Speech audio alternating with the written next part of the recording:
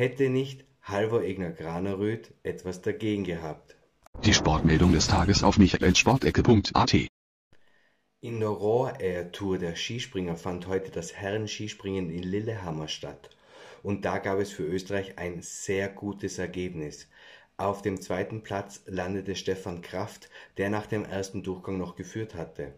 Überhaupt auf Platz 16 nach dem ersten Durchgang lag Manuel Fettner, der sich dank 138 Meter im Finaldurchgang noch auf Platz 3 nach vorne katapultierte. Vierter wurde Daniel Schofenig. Nach dem zweiten Durchgang an zweiter Stelle lag der Führende in der Raw-Air-Wertung Halvor Egner Granerüt. Und der Norweger konnte Stefan Kraft in der Entscheidung noch knapp abfangen, somit bleibt er auch in dieser Wertung in Front vor dem Österreicher. Es wäre also fast ein Dreifachsieg für Österreich geworden,